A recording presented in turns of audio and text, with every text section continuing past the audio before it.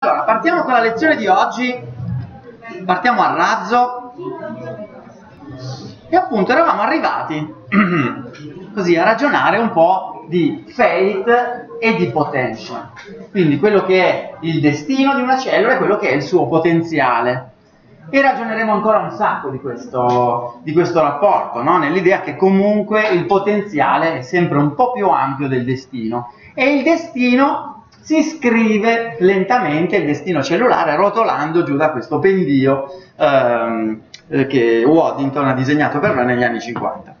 Allora, ma come si fa a, uh, a, seguirlo poi nella realtà questo destino, okay? perché poi la questione è sperimentale, è pratica, no? eh, una cosa è la teoria di fate and potential, l'altra cosa è la pratica, cioè cercare di vedere che cosa succede per davvero. E per fare questo noi dobbiamo poterlo seguire prima di tutto il destino. Poi cercheremo di saggiare la plasticità, verificare eh, quanto eh, questo destino può essere modificato, in che modo, da che tipi di forze. ok, però per prima cosa questo destino lo dobbiamo descrivere, mm? lo dobbiamo descrivere eh, e questa descrizione già può dare moltissime informazioni. Allora, la questione di descrivere il destino, ok, si tratta essenzialmente quella di eh, seguire dei lineage di cellule, ok, dei lineaggi, seguire delle famiglie di cellule, quindi c'è un founder, una cellula madre, da cui originano delle cellule figlie, da cui originano delle altre cellule figlie e alla fine ci saranno una serie di destini cellulari che originano da quella cellula. Quindi noi in qualche modo possiamo saggiare il potenziale di quella cellula in condizioni fisiologiche eh, valutando quello che è il destino della sua progenie. Allora, ma come si fa a seguire questo destino? Eh, eh, questi lineaggi sono molto evidenti eh, nel, nell'embrione, però poi le cellule si mischiano tutte una con le altre e non è proprio facile riuscire a seguirle, ci vogliono dei marcatori. Bisogna marcare qualche cosa e avere questo marcatore che, eh, che si tramanda nella progenie, che viene trasmesso nella progenie. Allora, la natura un pochino viene in aiuto perché ci sono alcuni eh, invertebrati marini soprattutto, eh, ma non solo, che Mm, in cui la mamma, eh, la madre, lascia nell'uovo un po' di pigmento, dei colori, dei coloranti, sono dei coloranti naturali. Mm. E per esempio in questo tunicato, eh, studiato dal signor Conklin all'inizio del Novecento, i colori sono anche variegati, quindi si possono seguire più lineaggi. E quindi il signor Conklin ha fatto quello che eh, molti fanno ancora adesso con tecniche più o meno sofisticate, cioè si è messo con pazienza a seguire eh, il tramandarsi di questo colorante naturale, di questo pigmento, a, nella progenie, nei lineaggi. Okay? Quindi lui eh, vedeva come andava distribuendosi e ovviamente per grosse categorie di cellule, okay? lui seguiva essenzialmente i primi blastomeri, però riusciva a dire per esempio eh, che questo blastomero qua in basso eh, dà origine a cellule che poi eh, nell'animale, nella nella larva in realtà eh, vanno a costituire i muscoli. ok? Quindi in questo eh, lineaggio c'è in modo invariante sempre eh, la muscolatura. ok? In effetti, eh, se vi ricordate, che cosa succede all'embrione? Vi ricordate che abbiamo parlato diversi modelli di specificazione, una nel riccio di mare e un'altra proprio in un tunicato? Ricordate qual era la differenza? Cosa succedeva se io eh, eh, disgregavo i primi blastomeri del riccio di mare? Cosa succedeva? Cosa succedeva di questi ripensiamo al modello dei determinanti dello zio Weissman. Si formavano dei pezzi singoli, ognuno un pezzetto? Nel riccio di mare, chi vota per ognuno un pezzetto, chi vota per quattro larve normali? Quattro larve normali? Uh, ok. Pezzi singoli e separati? Ma che bravi, hai visto? esatto. Mentre invece nel tunicato, quattro larve normali, quattro pezzi singoli, quattro pezzi singoli, scusate? Esatto, si, un po' più timidini su questa cosa. Esatto, si, si parlava di eh, specificazione regolativa o a mosaico. Hm? Nel caso del mosaico appunto ci sono dei determinanti e questo è proprio quello che succede nei tunicati. Eh, in, questo, eh, in, questo, blastomero, si scoprì poi dopo, c'è una proteina, si chiama macio e come dice il nome è importante per diventare cellule muscolari. Mm? Abbiamo parlato l'altra volta di questi fattori di trascrizione, questi interruttori che possono accendere specifici... Ehm, eh, destini cellulari, questi possono essere accesi attraverso interazioni tra le cellule in modo regolativo oppure da determinanti già presenti nella cellula. Questo, questo è il caso del determinante già presente nella cellula, lasciato dalla madre. Ok, ma comunque questo è un modo di seguire eh, un lineaggio, seguire il colore nella progenie. È chiaro che non è eh, proprio sempre fattibile. Eh, c'è un problema di diluizione di questo colorante, siete d'accordo? Mm? Le cellule si dividono, se la massa di citoplasma aumenta troppo rispetto a quella originale, a un certo punto il colore è troppo diluito non si vede più. E però diciamo ci sono una serie di animali in cui effettivamente l'uovo ha già più o meno tutta la massa che ci sarà poi eh, nell'embrione, nella larva. Okay? Non c'è un grosso aumento di, la, di, di materiale. Questo succede in moltissimi embrioni e ovviamente questo facilita moltissimo perché noi possiamo mettere semplicemente del colore. Per esempio eh, il signor Vogt fece esattamente questo con l'embrione eh, di rana. Prese una serie di frammenti di agar li intrise con un colorante vitale, li mise sull'uovo e in qualche modo riuscì a eh, determinare una mappa di quelli che sono i destini cellulari a partire da determinate parti eh, dell'uovo. Ok? Diciamo che tutto questo lavoro eh, sembrava indicare una fortissima invarianza, cioè sembra tutto molto predeterminato, ok? E questa tutto sommato è anche la visione che noi abbiamo dello sviluppo. I due gemelli vengono identici, c'è qualcosa di estremamente predeterminato. Mm? E quindi in qualche modo noi ci immaginiamo che dietro tutto questo ci, sia un, eh, ci siano dei meccanismi altrettanto invarianti, okay? altrettanto predeterminati. E di questo però appunto parleremo nel corso del corso. Ok, eh, ma tornando ai nostri colori, quindi la, la, prima parte che voglio farvi qui è puramente tecnica, hm? come si fa a tracciare il lineage delle cellule. Allora, questi colori vanno benissimo, però appunto hanno questo difetto di diluirsi nella progenie. E quindi vorremmo qualcosa che non si diluisce nella progenie, hm? che è in grado di eh, rimanere sempre allo stesso livello. Cosa suggerite? Cosa sarebbe meglio? Quale sarebbe l'ideale? La marcatura ideale per seguire un lineaggio di cellule? Scusami? Far trascrivere direttamente le cellule, qualcosa di particolare, quindi in qualche modo modificare il loro genoma, ok? Una mutazione. Una mutazione è l'ideale. In effetti, oggigiorno siamo arrivati a delle tecniche super sofisticate in cui si fa il sequenziamento di singole cellule e andando a vedere le mutazioni o la posizione di trasposione o cose di quel tipo si possono davvero seguire dei lineari. Vabbè, però l'ideale sarebbe appunto una marcatura genetica e eh, il tentativo di utilizzare marcatori genetici in effetti in biologia è molto antico, in biologia dello sviluppo. E eh, in realtà comincia ancora prima di questa, di questa, cosa qui, di questa storia della signorina Ledouren, ma di quell'altra parte diciamo degli anni 30 ve ne parlerò, però uno molto eclatante e molto moderno, ancora utilizzato oggigiorno, è quello delle per esempio eh, chimere tra quaglia e pollo. Eh? La quaglia è molto più piccola, il pollo è molto più grande, ma i loro tessuti sono compatibili.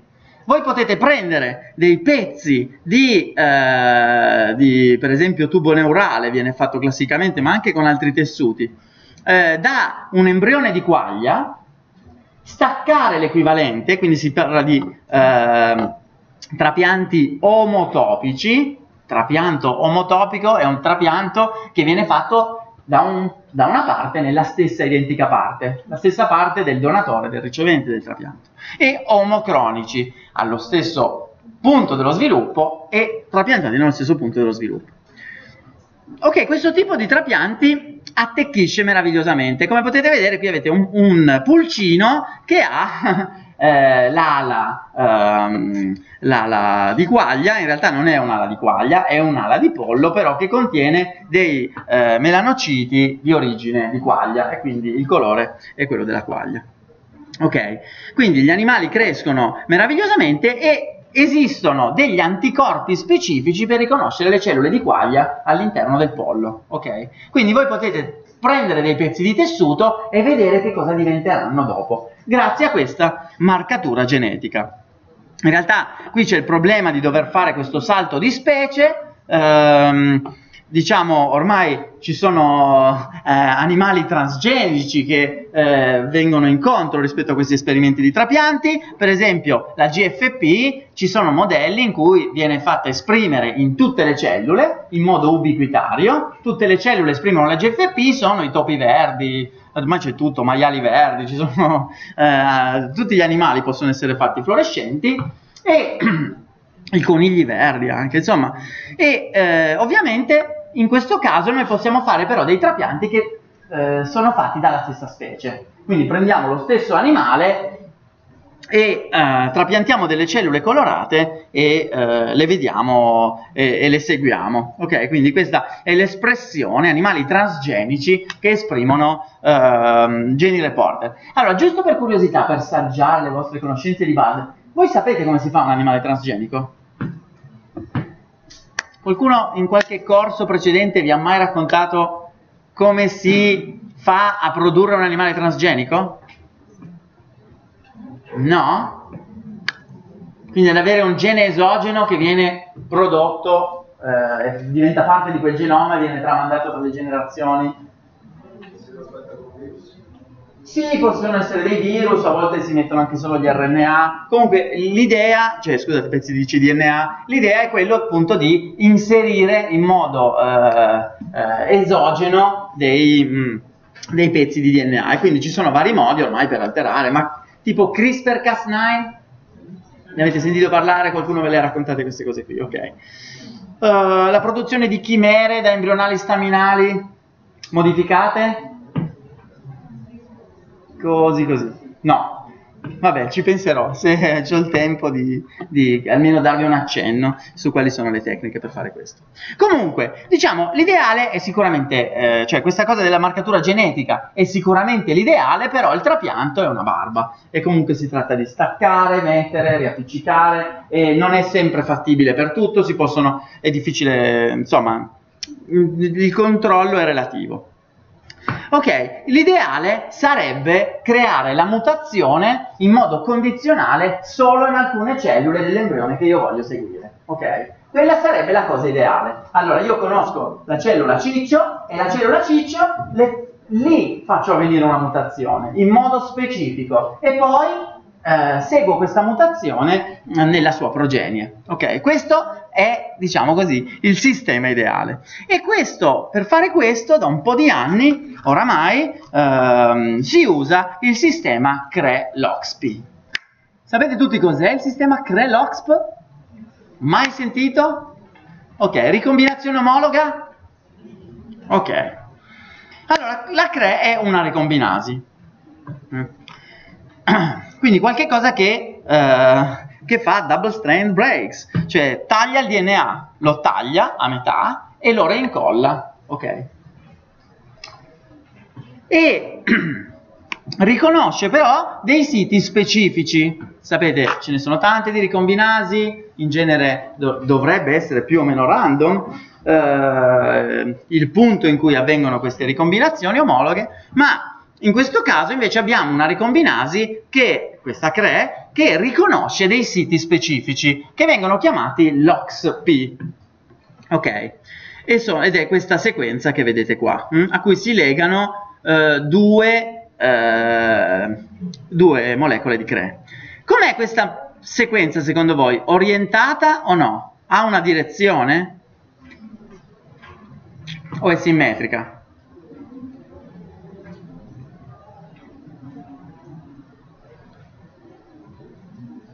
Dai, chi vota per simmetrica alza la mano. Chi vota per orientata? che timidezza ragazzi, veramente, ma a limonare andate malissimo, ditevi la verità. Siete troppo timidi, dovete aprirvi un po'. allora, è orientata. Mm, sì, era, chi, ha, chi, ha, detto orientata ha indovinato, ma chi ha detto non orientata limona lo stesso. Tutti gli altri no. Va bene. Allora, questa sequenza è orientata. Quindi la CRE è in grado di riconoscere l'orientamento della sequenza e ricombina eh, proprio secondo questo orientamento. Quindi a seconda del modo in cui vengono orientate mh, mm, le sequenze LOXP, noi possiamo ottenere delle, eh, degli effetti diversi sul gene di interesse. Hm? Per esempio, quando le sequenze si eh, guardano una con l'altra, in realtà il risultato è quello di invertire la sequenza, ok? L'inversione però è un modo di, per esempio, inattivare o attivare qualche cosa, d'accordo?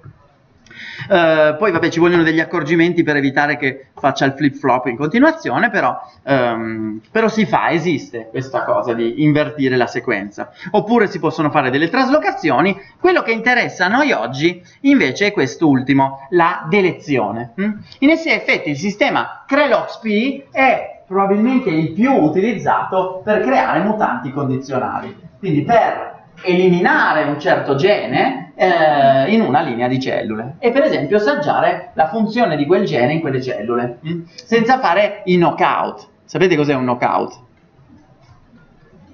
Sapete cos'è un knockout? Chi me lo dice? Dai, cos'è un knockout? Un gene non funzionale in un animale, ok? Quindi è spegnere un gene in un animale, esatto, e farlo intenzionalmente, va bene.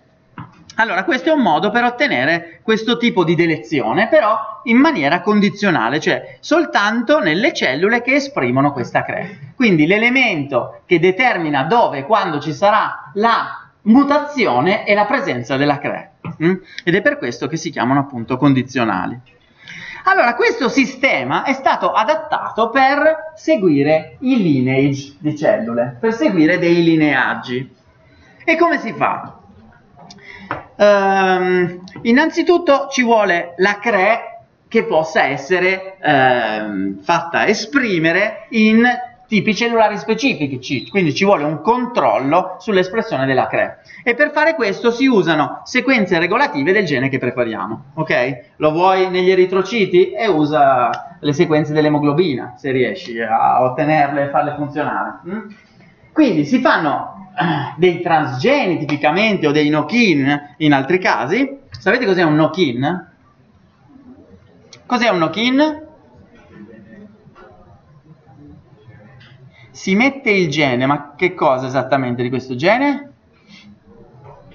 No, però nel senso, il knockout è quando tu spegni un gene e togli un pezzo di DNA tendenzialmente si toglie un esone, non, to non puoi togliere tutto il gene, no? se ne toglie un pezzo che rende la proteina non funzionante o il gene non, non, acc non accendibile.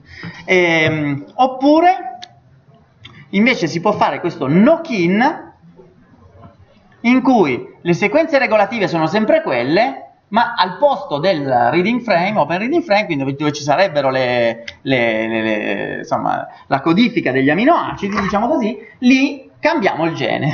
non esprimi più il gene che volevi, ma esprimi quello che voglio io. Ok, te lo sostituisco. Quindi le sequenze regolative sono le stesse e quello ovviamente è il modo più pulito. Peccato che il gene però non lo esprimi più. Quindi è già quello anche un mutante. Ma vabbè, ma al di là di questi problemi tecnici, hm, eh, noi adesso abbiamo appunto la necessità di esprimere la CRE in modo specifico solo in certe cellule. Quindi useremo le sequenze regolative di qualche promotore che ci interessa. Ok, poi però vogliamo seguire un lineage, quindi vogliamo qualcosa di colorato, vogliamo un colorante che venga prodotto da solo dalla cellula, che la cellula se lo produca, che io posso vedere e che eh, venga anche tramandato alla progenie, questa capacità di produrre questo colorante, anche chiamato reporter. Mm? Questi sono geni reporter. E ehm, tipicamente si usa questo locus, che è sul cromosoma 6 nel topo, rosa 26, questo è nel topo, stiamo parlando di topi. Questo locus rosa 26 è un locus che è espresso dappertutto, in tutte le cellule, ok? È espresso in modo ubiquitario, è stato scelto apposta. E um, in questo uh, locus è stato inserito un gene reporter, la YFP, ma questo gene reporter normalmente, o l'HZ o quello che volete, MCR, ormai ce n'è di tutti i tipi, chi più ne ha più ne metta, ma comunque questo gene normalmente non è espresso perché c'è un codone di stop subito prima della sequenza. Ok? Quindi l'RNA polimerasi parte ma poi si ferma. Questo codone di stop però è stato messo intorno a due siti LOXP con lo stesso orientamento. Quindi il risultato di questa ricombinazione è una delezione. Il sito di stop, il codone di stop, viene fatto saltare via. E nel momento in cui non c'è più, questa mutazione ha come eh, risultato fenotipico l'espressione di un reporter ok? Che è la YFP. Quindi questa cellula diventa verde, ma non solo lei diventa verde, lei ha modificato il suo DNA, è una mutazione genetica, quindi anche le sue figlie diventeranno verdi, ok? Per esempio questo è il sistema che è stato eh, determinato, che è stato utilizzato per determinare il progenitore dei neuroni nel cervello. Adesso qui ne parleremo più avanti, però questo, scusate, dimmi, dimmi. Del genere porta. In realtà io, se... Guarda un po', guarda, te la faccio vedere così. Mi ero preparato questo disegnetto, se avessi dovuto spiegare meglio. Allora, la, la questione è questa. Tu hai la CRE, hm, che viene espressa sotto un particolare gene, quindi non sono tutte le cellule a esprimere la CRE, solo alcune cellule esprimono la CRE. E qui ti disegno solo questa, va bene? Mi scusi se non ti disegno quelle senza CRE? va bene se no si può fare anche facilmente con un copia e incolla, guarda, così, mettiamo qui, eh, Opla. No, vabbè, la facciamo stare, faccio casino. ok, la CRE viene espressa, lei è una proteina nucleare, hm? eh, gira per il genoma finché trova le sue sequenze target. Ok, prende tutto questo, lo toglie, no, in realtà questo rimane, scusate. Vabbè, ma comunque, insomma, prende questo, lo toglie, e ricuce. Ok? Questa cellula esprime GFP e quindi diventa, guarda che bello, vediamo se lo so fare. Non ricordo più dove... Uh, boh. Ma da qualche parte c'è, non importa, vabbè, insomma, e questa cellula diventa verde, ok? Scusami? Sì. La GFP fa parte del genoma, ok? C'era già, però era preceduta da questo codone di stop che ne impediva l'espressione. Quindi la maggior parte delle cellule non esprime la GFP perché c'è questo codone di stop che impedisce l'espressione del, del, reporter. È chiaro? Io metto la CRE in quelle cellule in cui voglio che la GFP espressa. Esatto. Quindi quando c'è la CRE, la CRE la cosa che fa è creare questa mutazione in automatico lo fa subito, ok? E vi faccio vedere l'esempio. Ok? Dai ragazzi, dobbiamo diventare un po'... dovete prenderci la mano, perché la biologia è tutta fatta di queste cose qui. Hm? Allora, la CRE ricombina il codone di stop e il, e il, il promotore, il gene reporter parte. E vi faccio vedere un esempio. Mm? In realtà in questo caso il gene reporter è la beta-galattosidasi, che è un uh, enzima che, eh, a cui sappiamo dare un substrato che lui trasforma in un colorante blu. E quindi vediamo blu le cellule che esprimono la beta-galattosidasi. Ok, è stato messo il, eh, la CRE sotto il promotore di questo gene si chiama BLBP. A noi non ce ne frega niente di chi è BLBP adesso, ci interessa solo che BLBP è espresso solo da alcune cellule. Hm? Alcune cellule che si trovano nel cervello embrionale e vogliamo vedere che cosa succede a quelle cellule e ai loro figli. Ok? Quindi prendiamo il BLBP, le regioni regolative, qui abbiamo scritto promoter, in realtà sono degli enhancer, ma comunque ehm, prendiamo le regioni regolative del BLBP, ci mettiamo la CRE, quindi la CRE viene là dove BLBP sarebbe espresso, c'è un macchinario di fattori di trascrizione che attiva queste sequenze regolative e questo attiverà la BLBP ma anche il nostro gene spia. Dimmi. Ma perché io posso far esprimere CRE a dei cellule che mi interessano e non posso far esprimere direttamente il, Il reporter? Sì, cioè, questo lo potresti fare, però tu dovresti trovare un sistema di trasfettare in modo specifico tutte le cellule che esprimono quel gene. E invece con il fa? Perché in questo caso noi usiamo le sequenze regolative del gene che mi interessa. Mm? Tutte le cellule che esprimono la BLBP. Ok? Perché se tu metti BLBP, BPGAL, un'ottima domanda. Ok? Se- perché non possiamo fare a questo punto, se mi interessa il uh, progenie e il uh, destino di queste cellule che esprimono BLBP, io faccio questo passaggio doppio e non metto direttamente il reporter qua. Magari figlie si mettono in figura però. Che ne dite? Vi convince? Se la cellula non esprime più BLBP, vedete, se la cellula dà origine a una cellula figlia che non esprime più quei geni, vi ricordate il trascrittoma che lentamente si modifica? Ok, i geni espressi dalle cellule figlie non sono necessariamente gli stessi geni che esprimevano le cellule madri.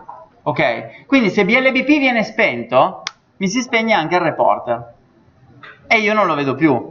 Ok? Io invece voglio una mutazione permanente che rimanga lì indipendentemente dai geni che esprimeva la madre. Io voglio modificare il DNA di quella cellula e poi qualunque cosa diventi la cellula figlia, che esprima BLBP, non esprima BLBP, è un globulo rosso, qualunque cosa, io voglio vedere il colorante lì. Io lo metto in un posto dove è sempre espresso non viene mai spento.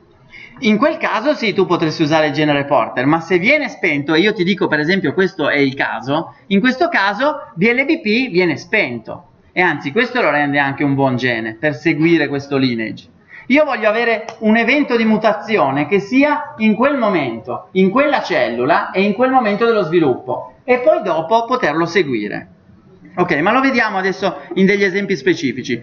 Guardate questo esempio qua. Le cellule BLBP esprimono la CRE. La CRE va nel nucleo, ricombina questo codone di stop e fa partire il reporter. Che cosa succede a questo reporter? Opsla, voilà. Allora, a E9.5, questo è un cervello embrionale, l'espressione del reporter inizia a essere osservata. Ok, la CRE ha tolto questo codone di stop. Queste sono le cellule che esprimono BLBP. Ok? Ok, BLBP però, te lo dico io, va giù subito, scompare rapidamente. Mm? Specialmente nella progenie di queste cellule, che sono per l'appunto i neuroni. Allora, quando tu vai a vedere il cervello di questa bestiola, tu trovi un sacco di neuroni che non esprimono BLBP, che non hanno la CRE, ma si portano dietro quella mutazione. Perché? Perché la loro madre era BLBP positiva e quindi esprimeva la CRE. Ok? Tutti questi neuroni che vedete sono diventati blu, l'espressione di questo reporter, ok, ce l'hanno perché la mutazione è avvenuta all'inizio dello sviluppo nella loro madre che esprimeva quel particolare gene. Ok? Quindi questa espressione di questo reporter non è dovuta all'espressione del BLBP, del gene originale, ok? Ma è una mutazione che si è tramandata nel lineage. D'accordo? Questo è un modo di seguire un lineage, con un piccolo difetto, che la CRE, quando c'è, c'è e ricombina. E molto spesso i geni invece ci sono, magari lungo tutto il lineage. È difficile trovare un gene che ci sia solo nella madre e non c'è nei figli. Ok? O comunque può essere un pochino complicato, o forse noi vogliamo andare a vedere solo certe fasi. Allora ci piacerebbe avere un pochino più di controllo sulla attività della CRE. Quindi adesso abbiamo l'espressione della CRE solo nelle cellule che ci interessano, utilizzando queste sequenze regolative di geni specifici. Adesso però vogliamo di più. Vogliamo anche poter dire alla CRE quando andare a fare la mia mutazione. Ok? Quindi stiamo par- quella di prima era una mutagenesi condizionale, cioè condizionata dalla presenza della CRE, adesso vogliamo di più e vogliamo la mutagenesi condizionale inducibile, mm? in cui la CRE è lì, è espressa nella cellula che mi interessa, grazie alle sequenze regolative che io mi sono scelto, ma non è funzionante, non ricombina. E perché non ricombina? Lei come va nel nucleo non ci pensa due volte e taglia, non ce la può fare, la sua, la sua natura è tagliare, vuole tagliare. E quindi noi dobbiamo tenerla fuori dal nucleo. Come si fa? È stata utilizzata una proteina di fusione in cui la CRE è stata fusa con un recettore degli estrogeni, un pezzo di un recettore degli estrogeni. Sapete come funziona la segnalazione degli estrogeni? Qualcuno ve l'ha mai raccontata? Eh? Come funziona la... dove sono i recettori degli estrogeni? Nel nucleo o nel citoplasma? Nel citoplasma. E quando arriva l'estrogeno? Vanno al nucleo, ok? Ok, quindi questo in realtà è un sistema modificato, IRT2, poi ne esistono anche altri tipi, ma comunque questo è un sistema modificato in cui in realtà questo recettore risponde solo ad un eh, estrogeno artificiale che si chiama tamoxifen. Mm? Quindi è un farmaco. Io ho un farmaco che attiva la CRE, ok? E per questo anche, vediamo un attimo, vi ho preparato questo mi interessa che lo capiate perché oggi lo vedremo più nel dettaglio, ok? Allora, la mia idea per, per schematizzarvi questa cosa è questa, eh, del mettere la CRE al guinzaglio dell'IRT2. Mm? Quindi questo è l'IRT2, quindi il recettore degli estrogeni, che mi tiene la CRE nel citoplasma. È chiaro? Mm? Non può andare al nucleo e quindi non ricombina un bel niente. Io posso decidere quando va al nucleo e faccio un bel beverone, hm? si, fa, si, possono fare delle punture ma si può fare anche il cosiddetto gavage, di, ehm, faccio questo bel beverone di eh, tamoxifen, il tamoxifen qui è schematizzato con questo cappellino, non sapevo cos'altro mettere, comunque insomma il signore non va al parco se non ha il cappello perché è un signore elegante, ok comunque arriva il tamoxifen, Mm? In realtà non è proprio così, il tamoxifen crea il distacco da delle proteine, ma non importa. A noi interessa solo il concetto che quando arriva il tamoxifen, allora la creva al nucleo. Ok? Quindi io con un farmaco attivo la CRE. Quindi di nuovo la CRE sarà sotto il promotore specifico, solo certe cellule la, la esprimono, ma lei non è sempre attiva, lo decido io come e quando. Ok? e questo si chiama mutagenesi condizionale inducibile. Poi il tamoxifen ovviamente rimane in circolo per un po', appena viene eh, lavato via insomma, dal circolo sanguigno, la nostra CRE si trova senza cappello, spaventata torna a casa, oh mio Dio, non voglio che nessuno mi veda così, e si torna nel citoplasma, ok? Quindi questo è un modo per avere un controllo temporale, ok? Quindi abbiamo il controllo eh, del tipo di cellula, utilizzando il promotore, quindi noi usiamo dei promotori specifici per decidere chi, quale tipi di cellule eh, esprimeranno e in questo possiamo anche inserire un controllo spaziale, quindi possiamo decidere chi e dove e anche quando, un controllo temporale, utilizzando questo trucchetto della proteina di fusione uh, CRE e IRT2. Ok, è chiaro? Vedremo ancora degli esempi, ma voglio che intanto sia chiaro. Dimmi.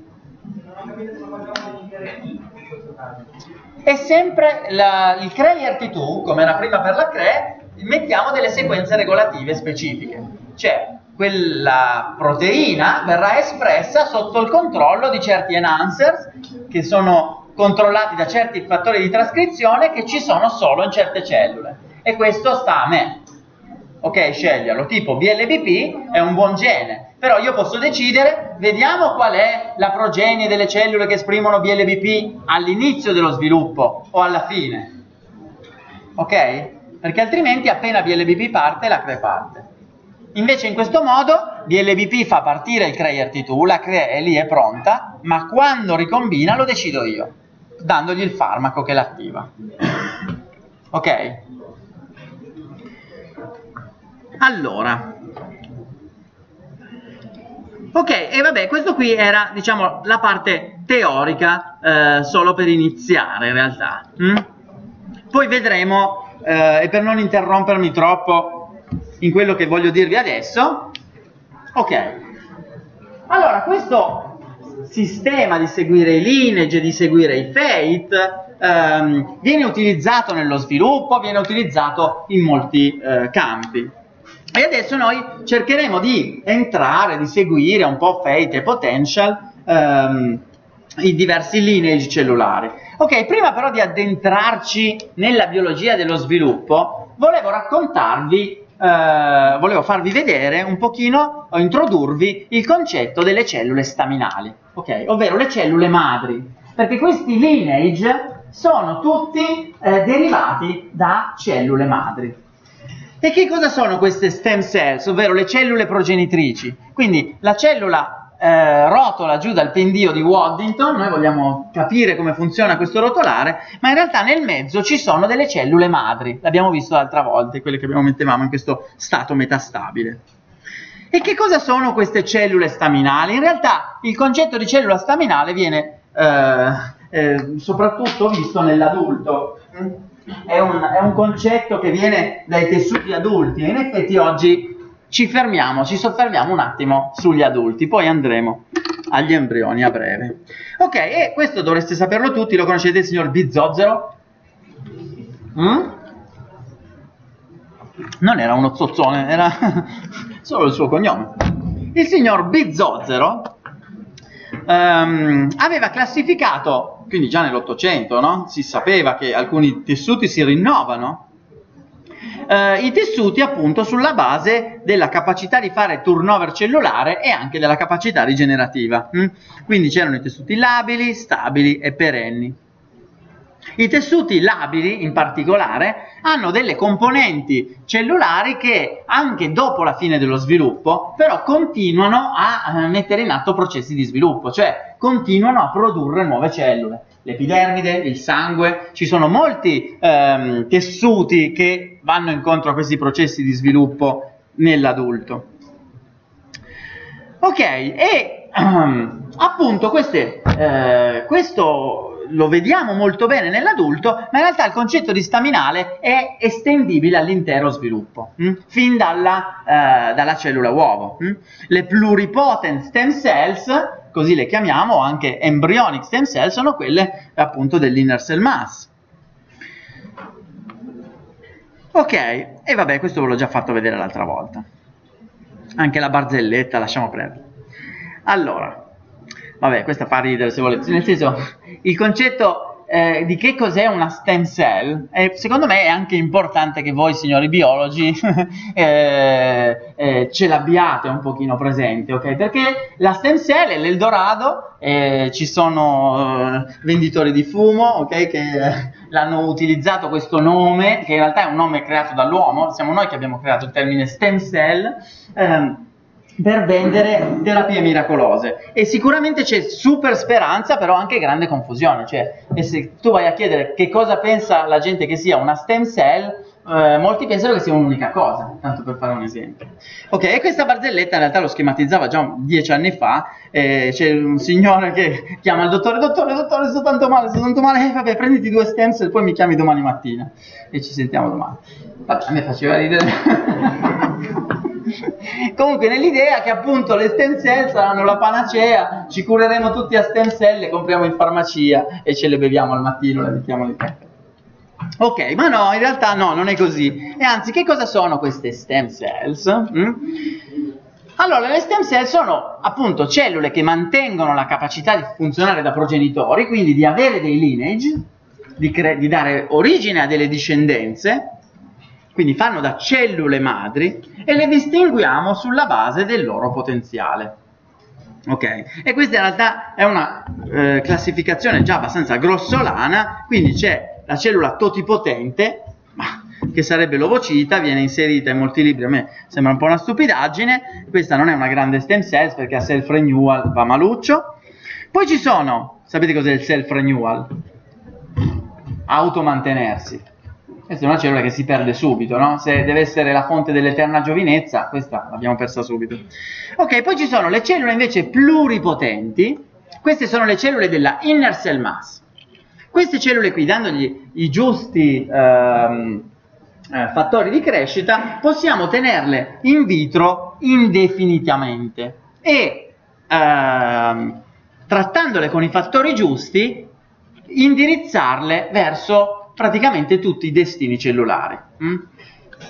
Muscolo, neuroni, sangue, tutto quello che volete, ok? Vengono utilizzate tantissimo ed è anche per questo che c'è un sacco di polemica, perché ovviamente vengono fuori dagli embrioni. Quelle che otteniamo trasfettando con SOX2, eccetera, eccetera, sono di questo tipo qui. Quindi in realtà noi possiamo utilizzare delle cellule pluripotenti prendendole anche da tessuti adulti.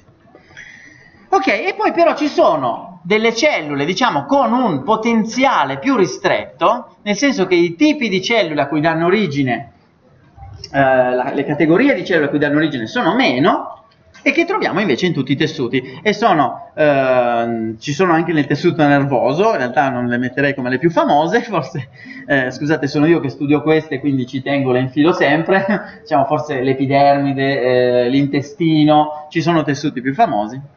Ok, e comunque le troviamo in diversi distretti del corpo. Allora, si tratta di cellule diverse, hm? sono tipi cellulari diversi, che però noi eh, a beneficio del pubblico e anche forse dei nostri libri di testo, inseriamo in un unico grande categoria. E quindi cercando di generalizzare il modello di cellula staminale, ok, identifichiamo cellula staminale come una cellula in grado di fare self-renewal, che vuol dire automantenersi, quindi non perdersi mai, deve esserci una fonte che si mantiene e allo stesso tempo però produrre anche progenie differenziata. Quindi ci deve essere questa asimmetria di destini.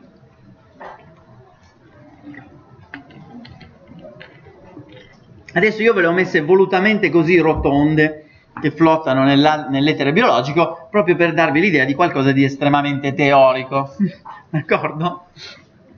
Molto teorico però è un modello che viene appunto dopo averne visti diversi. ok, in realtà la cellula staminale, quello che si, si è visto nei diversi modelli, in genere non dà direttamente origine a progenie differenziate. Ci sono una serie di passaggi attraverso cellule che si dividono moltissimo che sono attivamente proliferanti e che sono, diciamo, la matrice germinativa più evidente nelle regioni che appunto si rigenerano oppure che vanno incontro a turnover eh, fisiologico e che vengono chiamate transit amplifying cells, cioè cellule di amplificazione transiente. Mm? E qui siamo sempre, ragazzi, in un modello idealizzato, mm? E adesso vedremo da dove è stato creato questo modello, perché se no eh, non lo capiamo. L'idea è che la cellula staminale tendenzialmente debba dividersi poco. Questa è un'idea piuttosto discutibile, vi dirò, però in molti casi effettivamente si vede che è così. La cellula staminale si divide non troppo hm? e dà origine però a dei uh, questi transit amplifying cells che sono cellule che in qualche modo amplificano il progetto. Hm? Quindi produci un seme e questo seme si sa automoltiplicare per formare una, una foresta. Ok, però che tipi di alberi l'aveva deciso la cellula staminale mettendo questo semino. Pum, vai. Ok, e ci sono casi in cui questo succede. Ovviamente la cellula staminale però non si deve perdere, quindi ci deve essere una asimmetria. E il modo più semplice per immaginare tutto questo, il modo in cui c'è questa asimmetria, cioè da una parte mantengo la cellula staminale e dall'altra produco progenie differenziata, è la mitica divisione asimmetrica. Ok? Cioè quando la cellula si divide in modo ineguale. Da un lato rimane la fonte dell'eterna giovinezza e tutti i fattori che ci permettono di rimanere giovani per sempre e continuare a dividersi per sempre, dall'altra parte invece si rotola giù dal pendio. Ok? Quindi qui si mantiene in qualche modo il potenziale, se immaginate il pendio di Waddington, c'è qualcuno che mantiene un potenziale più alto nelle due divisioni, eh, come se si dividesse sempre sulla cima di un monte. Eh, il gallo fa l'uovo, la sapete come se si dividesse sulla cima di un monte e una cellula rotola giù e l'altra rimane su. Ok, questa si chiama divisione asimmetrica. Oppure vi viene in mente anche un altro modo in cui noi potremmo ottenere questo stesso effetto? Dai, ti vedo caldissimo. Oppure? Ah, più forte, parla, parla, non ti sente nessuno. Non mi che sia simmetrica, Sì? ma. Esatto. Siete d'accordo? Vi piace? Lui dice basta fare due divisioni diverse. Una volta ti dividi per dare origine a due staminali e una volta ti di- dividi per dare origine a due progenie differenziate. Ok? A seconda dei casi. E in effetti anche questo succede. Mm? Opla. Mm? Diciamo, esiste una visione, quindi esiste un, eh, un modello, diciamo così, gerarchico, in cui la cellula staminale però è un po' a rischio perché rimane sola soletta. ok, cioè se quella cellula muore, dividendosi solo in questo modo, come facciamo a ripopolare il pool? D'accordo? Quando una si perde, si è persa. Perché poi le altre, tutte le volte che si dividono, non producono nuove cellule staminali e il pool va in esaurimento. In effetti esiste anche quest'altro modo di dividersi, quella simmetrica, in cui appunto in questo modo espandiamo il pool di staminali, oppure un altro tipo di divisione simmetrica invece in cui dipletiamo il pool di staminali. Ok? E secondo il modello, questo secondo modello, eh, questi due eventi potrebbero essere regolati da un sistema stocastico. Eh, stocastico. stocastico già non ci piace, basta, lo sviluppo, eh, il disegno intelligente e lo sviluppo non può basarsi su sistemi stocastici, no? I due gemelli sono identici, non ci può essere un meccanismo stocastico dietro.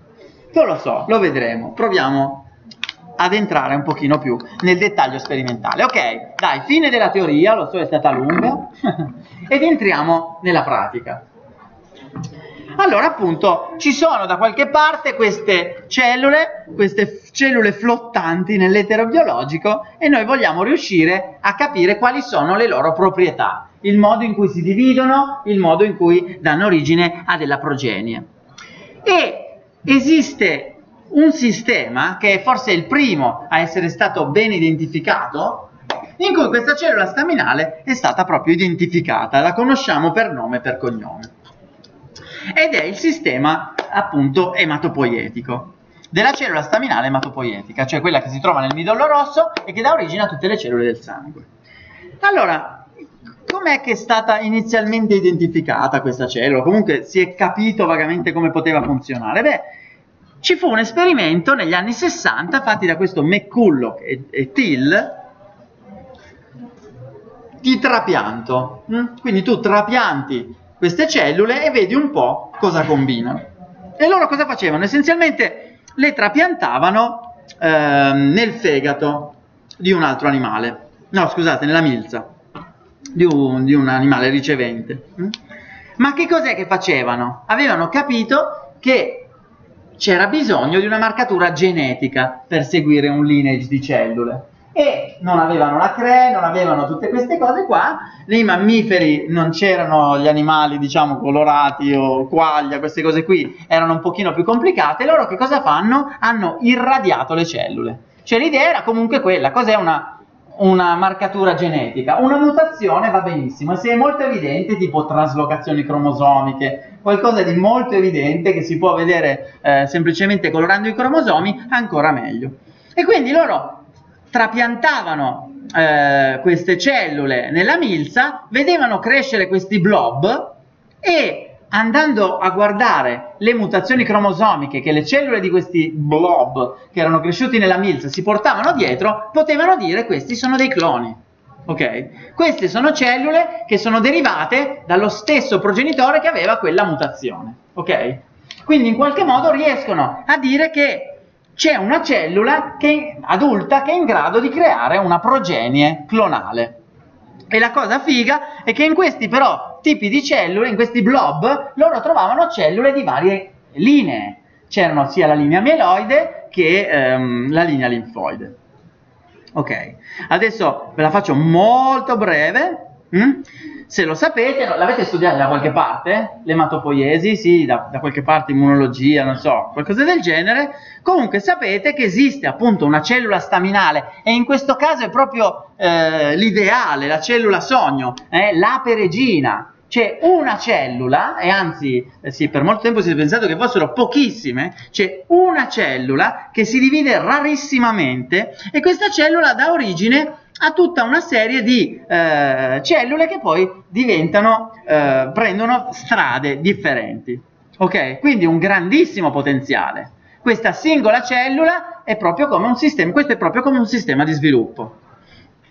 Ok, dalla cellula, ehm, dalla cellula ematopoie- staminale ematopoietica o- originano appunto tutte queste linee. Ok, ma come è stato possibile in qualche modo definire, capire chi era questa cellula e definirne le proprietà? In realtà, di nuovo, eh, farlo in vivo non è facile. Essenzialmente si sono utilizzati i trapianti fino a pochissimo tempo fa, anzi ancora viene fatto. Ovviamente il trapianto di midollo è una cosa che interessa perché ha un eh, riflesso sulla salute pubblica. mm? Quindi che cos'è che veniva fatto? Venivano isolate delle cellule del midollo rosso utilizzando il fax. Sapete cos'è il fax? Non serve per mandare dei messaggi. Il fax sorter. Fluorescence Activated Cell Sorter. Mai sentito nominare? Mai sentito nominare? Ok. Ragazzi, questo però è uno strumento base per i biologi. Eh, no, adesso non c'è tempo di raccontarvi com'è il fax sorter. Comunque è una macchina che eh, è in grado di leggere, eh, diciamo così, molecole di superficie noi, a cui noi leghiamo con degli anticorpi delle molecole fluorescenti, quindi utilizziamo degli anticorpi per marcare degli antigeni di superficie e questa macchina è in grado di isolare le cellule, hm? di separare le cellule, di fare il sorting. È una macchina che sorta le cellule sulla base di quello che esprimono in, in termini di superficie. E la nostra cellula staminale ematopoietica, a forza di stargli dietro, adesso la conosciamo, la conosciamo molto bene proprio dal punto di vista dei marcatori molecolari. È una delle pochissime cellule staminali di cui sappiamo la carta d'identità. Siamo in grado di isolarla in questo modo.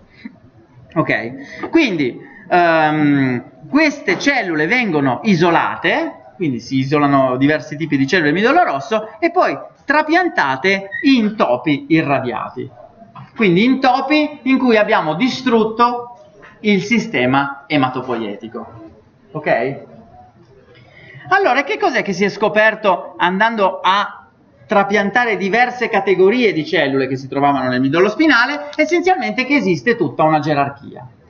Un modello meravigliosamente gerarchico. Quindi vengono isolate, eh? vedete questi sono i marcatori tipici di questa, ognuna ha i suoi marcatori tipici, siamo in grado di isolarle in modo specifico e di trapiantarle in topi irradiati. E poi si va a vedere se il topo sopravvive. È stata questa cellula, lo guardi e dici vediamo come sta, ah, mettiamo, a volte si, si è trapiantato addirittura una sola cellula, ok? E questo che è veramente incredibile di questo sistema veramente la peregina. E allora che cos'è che si è scoperto? Ci sono alcune cellule che quando le trapianti ripopolano l'intero sistema eh, per sempre. Quindi l'animale ci mette un po' a recuperare, ma poi è a posto. Mm? Tutte le linee, linfoide, mieloide, megacariociti, piastrine, eh, eritrociti, tutto a posto, ok? Trapiantando singole cellule uh, e per sempre. Nello stesso tempo però si possono trapiantare alcune cellule che invece eh, ripopolano il sistema ma solo per un po'. Quindi hanno lo stesso potenziale differenziativo ma non fanno unlimited self renewal. Queste vengono chiamate short term ematopoietic stem cells. Queste cellule, la cosa interessante che in vivo le cosiddette long term hematopoietic stem cells si dividono pochissimo, quasi mai, una volta ogni 50 giorni, una cosa del genere, ok?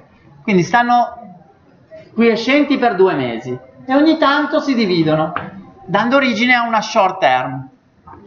Questa short term poi si divide dando origine a tutto il resto. Ok?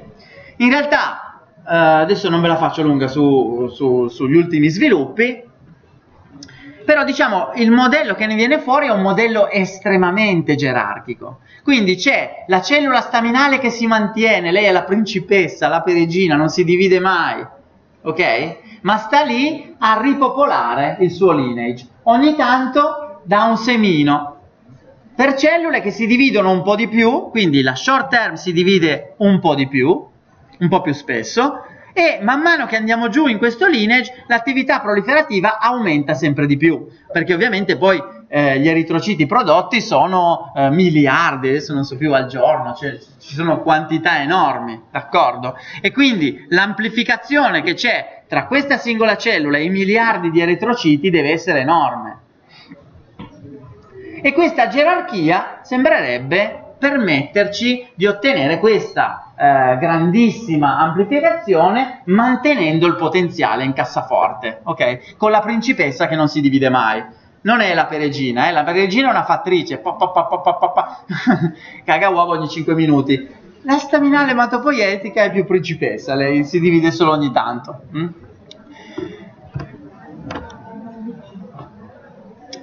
Uh, ma il concetto di nicchia lo andiamo a vedere. Ok, in realtà questo, questo è un modello che è stato potentissimo, che è stato molto forte e tutti gli altri sistemi staminali si è in qualche modo cercato di vedere se corrispondevano a questo modello. Quindi una cellula staminale che si divide poco e che dà origine a cellule che hanno un potenziale via via più ristretto ma una eh, capacità proliferativa maggiore. Ok? Uno schema che sembra molto logico e sembra funzionare, ma adesso proviamo a vederlo più nel dettaglio. Ok, siete vivi? Allora, modello numero 2. Il testicolo di drosofila. Ah, forte, avevate voglia di un po' di testicoli di drosofila? In realtà effettivamente fatemi solo introdurre il concetto di nicchia. Mm, dai, qualcosina ve lo devo dire. Che cos'è la nicchia? Cioè queste cellule staminali in realtà non flottano nell'etere biologico, d'accordo? non è chiaro da dove prendano il loro potenziale. Come mai quella cellula ha questo potenziale, la cellula staminale mantiene questo potenziale e le cellule figlie lo perdono? Ok? Sicuramente ci può essere qualcosa di intrinseco. Io faccio la divisione asimmetrica e tutti gli elisir della giovinezza li metto da una parte e la cellula alla figlia gli diamo invece così un po' di spazzatura per fare il differenziamento. Questo potrebbe essere, però c'è anche un elemento appunto legato alla nicchia, cioè la cellula staminale in genere non è sparsa nel nostro corpo, ma risiede in dei microambienti particolari che ne regolano lo sviluppo e la, funzione, e la funzione ok? Quindi in genere si trova agganciata a qualche cosa eh? o eh, insomma ci sono dei posti particolari che vengono chiamati nicchie sono il microambiente che regola appunto eh, la loro attività e in qualche modo anche gli conferisce il loro potenziale molte di queste cellule staminali fuori dalle loro nicchie non funzionano più differenziano Ok, ma vediamo perché il testicolo di drosofila è un modello così figo. Hm? Perché vi dicevo, molto spesso nella massa di cellule di un tessuto è difficile capire chi è la cellula staminale, specialmente se la birichina si divide poco. Eh, io come faccio a distinguerla adesso? Come faccio a sapere se quella è post-mitotica o solo una che si divide malvolentieri? Non è semplice, ok? Quindi identificarla, trovarla per davvero, la cellula staminale, non è per niente semplice. Invece il testicolo di drosofila, la cellula staminale è lì, è in vista, si, ti saluta e si fa guardare, ok? Perché il testicolo di drosofila è una specie di tunnel a fondo cieco. Ah, al fondo c'è una zona che viene chiamata hub e il differenziamento avviene eh, appunto lungo questo tubulo. Quindi man mano che vai verso la fine del tubulo trovi spermatociti maturi, spermatozoi maturi e invece tornando indietro come nel tunnel del tempo uh, ripercorre indietro la vita degli spermatozoi. Ne trovi sempre di più immaturi sempre di più immaturi sempre di più immaturi sempre di più immaturi finché qui sulla punta c'è la cellula staminale. Oh questa è comoda perché la vediamo subito. E in effetti viene studiata da un sacco di tempo mm? Quindi, vabbè, questo è semplicemente un altro schema. Ehm, la spermatogenesi avviene in modo molto simile a quello che potreste avere studiato nei mammiferi. Vi ricordate? Che ci sono questi spermatogoni che rimangono appiccicati con dei tunnel, che ci sono dei canali di citoplasma, sono tutti attaccati tra di loro. Quindi questo è ancora più figo perché i cloni non si separano, i fratelli, i figli di una stessa divisione, rimangono fisicamente agganciati tra di loro con i loro eh, citoplasmi comunicanti ed è la cosa che viene schematizzata qua. Vedete, la stem cell si divide per dare origine a quelli che chiameremo dei transit amplifying cells, quindi questa è la fase di amplificazione ed è tutto lì sotto i nostri occhi e possiamo anche capire dove ci troviamo semplicemente guardando il punto. Ok? Quindi qui sulla punta queste cellule, questo cerchio di cellule, queste sono le stem cells. Ok? E possiamo ucciderle e vedere che tutto finisce. Se tu uccidi quelle cellule, eh, niente più spermatozoi. Mm? È molto semplice verificarlo. E in effetti queste sono tra le primissime staminali che sono state identificate e che era possibile manipolare proprio grazie alla loro posizione anatomica caratteristica. Ok, quindi loro danno origine a questi gruppi di cellule che poi si moltiplicano dando origine a tutti questi spermatozoi. In questo schemino lo vedete un pochino meglio.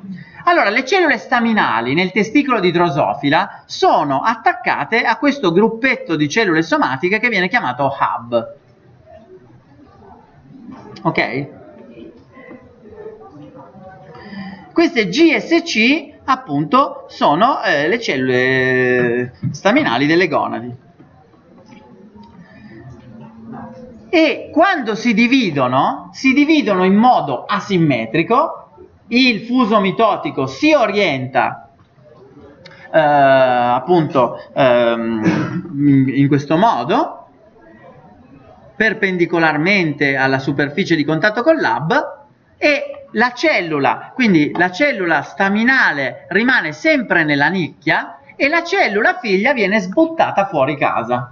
Questo è il modo più semplice per far sì che la staminale rimanga sempre lei a casa. Io rimango qui, ciao tesoro, ciao. Ciao, ciao, ciao, ciao.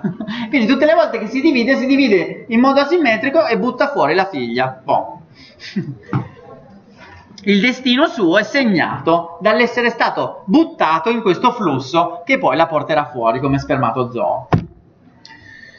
Ok, e però appunto vedete questi gonioblasti poi eh, iniziano a dividersi e a creare questo, questi gruppi di cellule che poi a loro volta faranno la meiosi e daranno origine a un sacco di spermatozoi.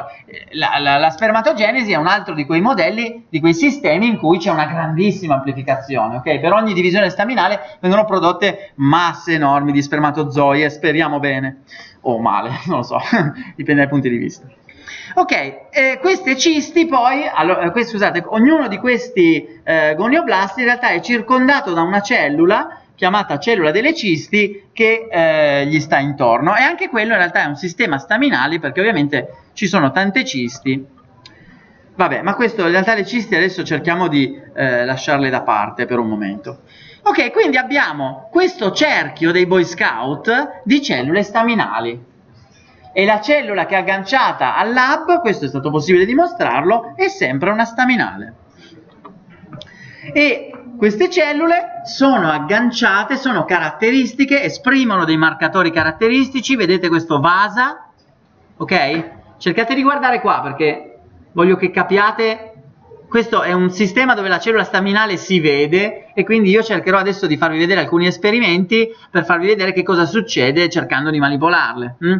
Quindi cercate di farvi un attimo l'occhio su come sono fatti. Allora, questo è lo schema. Questa è l'immagine reale. Quindi abbiamo lab che avrà i suoi marcatori specifici, per esempio questo ARM, ce lo fa vedere in blu. Spegniamo la luce ragazzi, effettivamente, voi non vedete un... Caterino. Come si spegne la luce qua? Vai, vai, facciamo il buio. Non limonate? O almeno aspettate un attimo, prima buttate un occhio all'immagine. Ok. Musica? Su- No. Allora, basta, scusa. Allora, vedete questo ARM?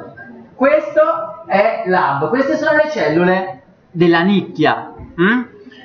Le cellule vasa sono queste qua, che staminali sono queste qua agganciate alla nicchia. In realtà in effetti vasa è espresso anche da qualcun altro. mm?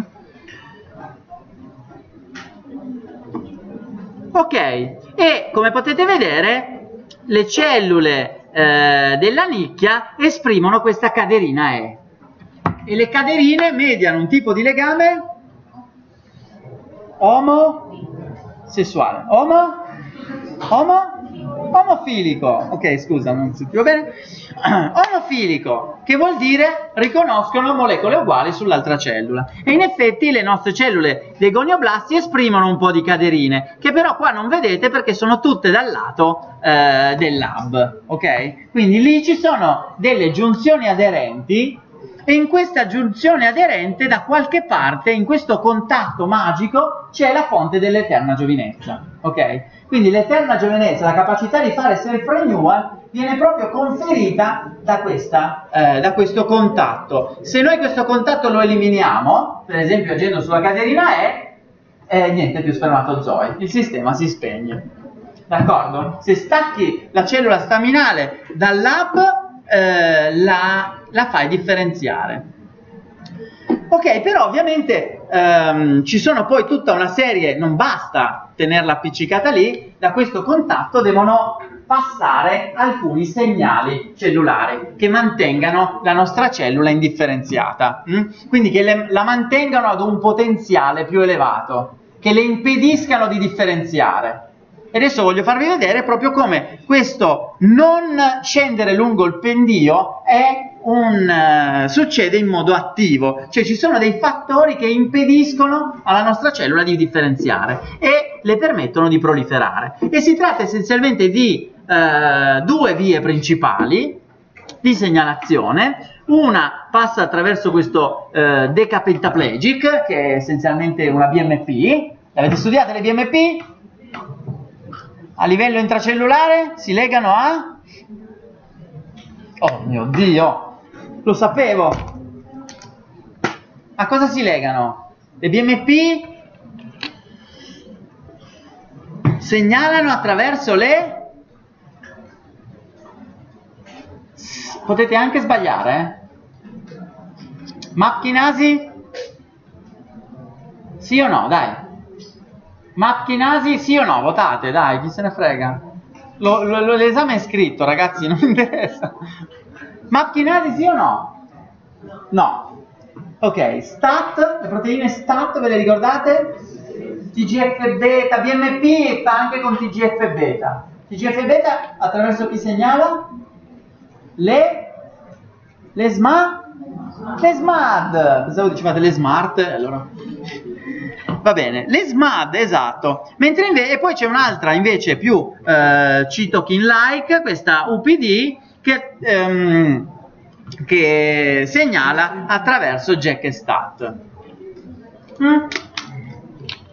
E queste due vie di segnalazione, di nuovo lo possiamo dimostrare con dei mutanti, sono fondamentali per mantenere ehm, la cellula nel suo stato staminale. In particolare, queste SMAD, queste SMAD che voi sappiate hanno qualcosa a che fare con la trascrizione dei geni? Eh? Vanno al nucleo? Vanno al nucleo? Sì? Possono? E come? ok? E questa via di segnalazione in effetti ha un effetto trascrizionale molto importante che è quello di reprimere questo gene BAM. E il gene BAM è uno di questi interruttori del differenziamento in termini di eh, spermatocita. Ok? Cioè quando BAM si accende, e lo potete dimostrare eh, esprimendolo in modo ectopico, quando BAM si accende, la cellula brum, fa partire un differenziamento in senso astrocita, eh, scusate, spermatocita. Mm? Quindi quello di reprimere BAM nella cellula staminale è fondamentale. BAM non deve partire, altrimenti si rotola giù dal pendio. Questa è la spintarella giungo il pendio. Ed effettivamente la cosa curiosa è che se voi andate a vedere questa divisione asimmetrica, ok, la cellula staminale che mantiene l'eterna giovinezza e sua figlia, la via delle STAT e la via delle BMP sono accese nella madre ma non sono spente nelle figlie e automaticamente BAM va su. Ok? Questa è una divisione super asimmetrica. La cosa che a me lascia un po' lì, se devo dirvi la verità, è il fatto che questi eh, fattori UPD e DPP siano attivi qua e non qua. Quanto è lunga una cellula, no? Scusate un po', ma questi TGF beta, eh, citochine, che tipo di molecole sono? Com'è, com'è che segnalano? Hanno dei recettori sulla membrana e quindi chi vuole utilizzarle per segnalare qualcosa alla, ad un'altra cellula deve fare della la cellula che produce mm, TGF beta poi come lo fa arrivare alle cellule target? Eh, lo secerne, siete d'accordo? Ci sarà un'esocitosi, no? E le, e le molecole piccole proteine solubili nell'ambiente extracellulare, cosa fanno? Di? Diffondono? E andranno un po' dove gli pare, giusto? Ma e quanto poco diffondono? Viene da chiederselo, no? È possibile che io secerno una molecola, un fattore paracrino, alcuni endocrini, eccetera, eccetera, e stimolo questa e l'altra no? Cos'è che vi viene in mente? Come potrebbe essere questo? Avete mai visto dei casi di segnalazione a brevissimo raggio? Per esempio? A contatto però con molecole di membrana, no? Quando tu dici segnalazione via contatto, la prima cosa che pensi è una molecola di membrana, Mm, molecole trasmembrana. Se invece c'è una segnalazione a, con molecole secrete sarà a lungo raggio. Però vi dirò che c'è un caso famosissimo di molecole secrete che sono a super corto raggio. La? La sinapsi. Nei neuroni, guarda un po', si usano questi tipi di segnalazione, chissà perché.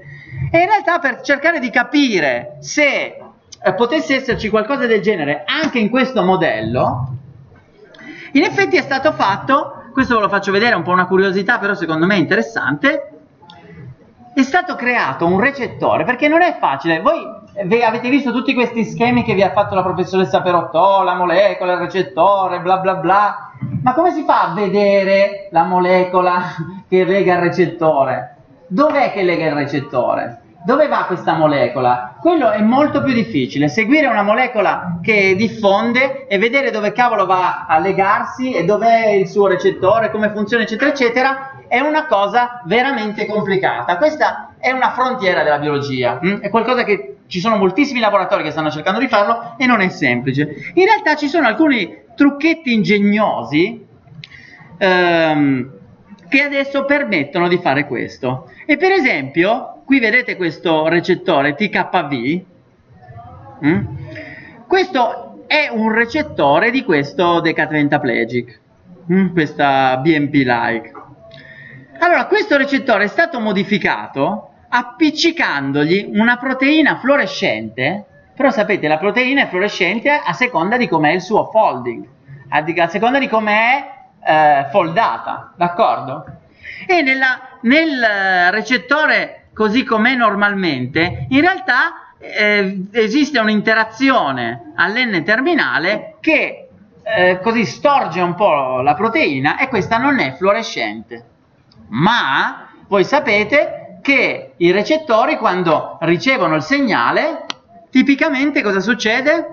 Negli recettori tirosina chinasi per esempio, o anche in altri, arrivano, eh? Dimerizzano e questa dimerizzazione causa una fosforilazione. Tada! E il fosforile è, eh, diciamo, in una proteina un, eh, un, elemento importante di destabilizzazione, tutta la sua carica, il volume, eccetera, eccetera. E quello che succede in effetti a questo recettore è che quando viene fosforilato, l'N terminale si sgancia, la proteina folda correttamente e diventa fluorescente.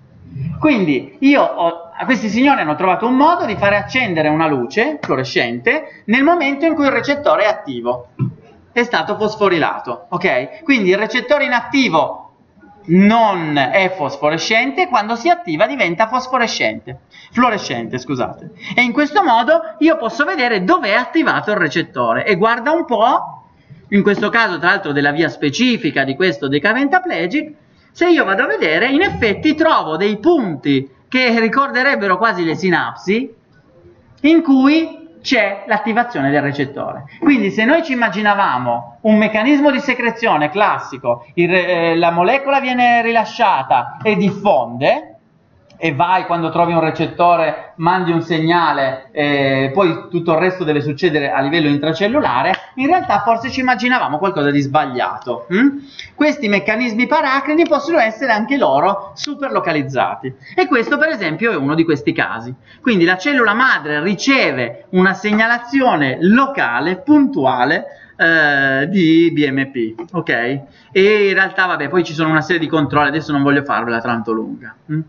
Comunque qui vedete il TKV, questo è il recettore in rosso, espresso dappertutto, ma il recettore attivato, vedete, è solo qui e qui. Quindi le cellule del lab hanno una secrezione locale lì solo sulla cellula che deve rimanere staminale, che è agganciata da quel lato, di questo fattore di crescita.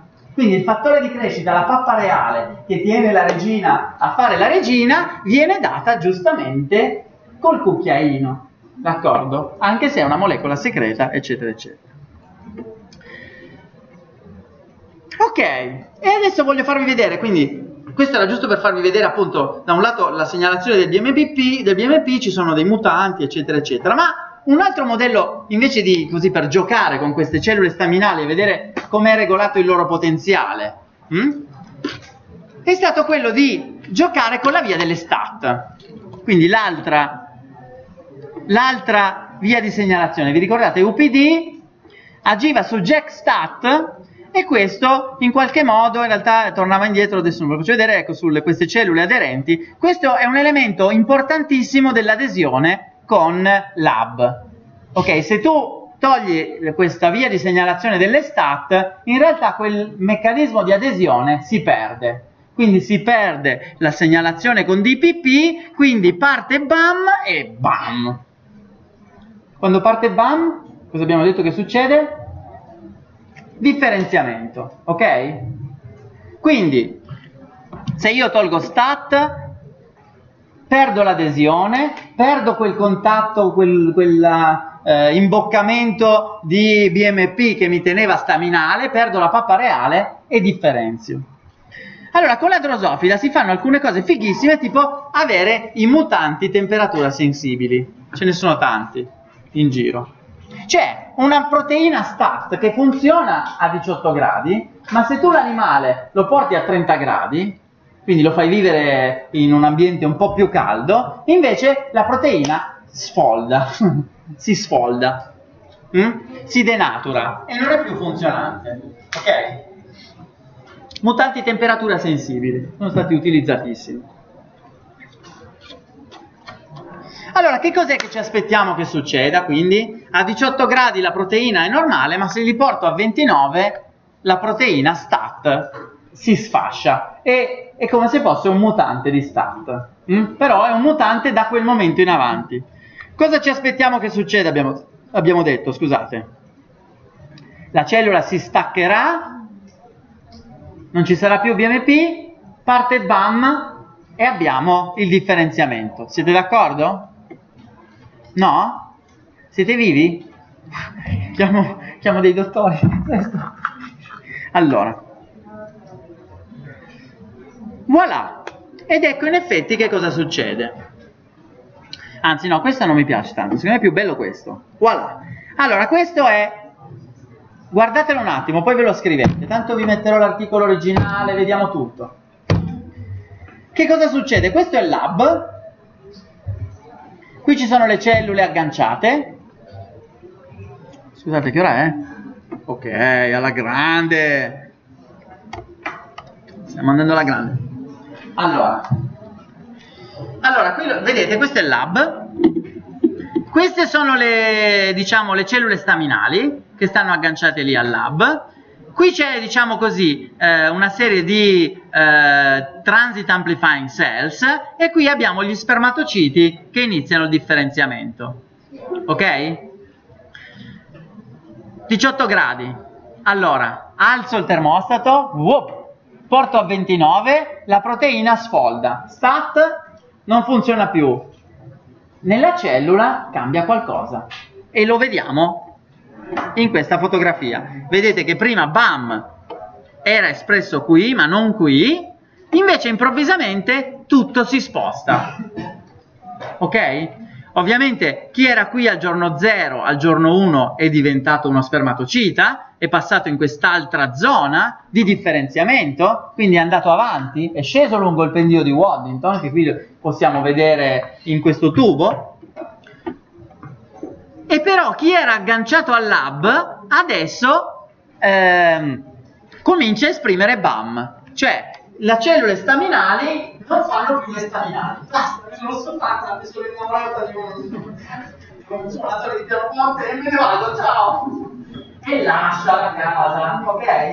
Se ne vanno, se ne vanno, decidono di rimanere lì a fare gli angeli del popolare, gli angeli del tubo. Opla, scusate, devo agganciarmi. Ah. Opla, no. Quindi senza stat non vogliono più fare gli angeli del tubo. Oh no! Mamma, dove vai? Torna qui! Vieni dal piccolo. Oddio, l'ho rotto. Aspettate. Ecco, ho sparato troppe cazzate, sono stato punito. Eccomi, rieccomi. Ok? Quindi la cellula staminale non vuol più fare la mamma. Ok, cambia il suo destino, è cambiato il suo destino e procede lungo il differenziamento. Ok, al primo giorno sono già molte ad aver preso questa scelta, al secondo giorno sono tutte. Nel giro di due giorni le cellule staminali sono tutte partite per il differenziamento. Non è rimasta neanche più una. Esaurimento del pool, fine della storia, niente più spermatozoi.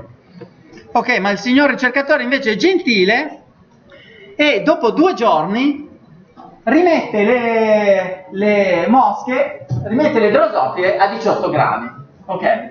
E che cosa succede? Succede che d'improvviso le cellule che erano agganciate al lab riesprimono stat, rimettono la caderina E, si riagganciano, gli ritorna UDP, reprimono BAM e tornano ad essere staminali come prima. Scusa, è stata una scappatella. Ma sì, alla fine quel signore di pianoforte non mi piaceva neanche tanto.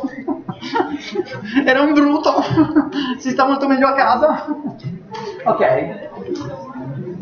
Allora, attenzione, però questa cosa qui, ehm, questa cosa qui, a parte il romanticismo, se volete vedercelo, dice qualcosa di molto interessante su questo processo del differenziamento, su questo eh, rotolare e su quando è che la strada diventa irreversibile. Ok? Quindi questa strada del differenziamento, secondo voi, è irreversibile? Oh, dimmi.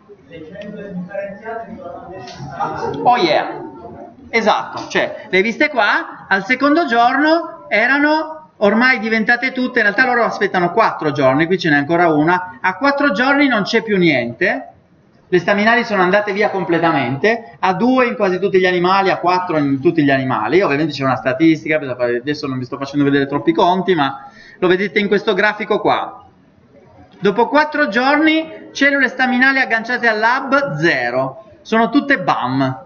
Ok? E hanno anche i ponti, cioè non è solo l'espressione di BAM, ci sono anche una serie di eh, elementi fenotipici, si sono agganciate, sono tante. Hm? Invece questi ponti, quindi questi cloni, si disgregano e tornano ad essere staminali. Ok? c'è proprio un cambiamento di fenotipo. Ah no, che stupido, ma io sono una madre di famiglia, come posso andarmene via così a farmi lo spermatozoo?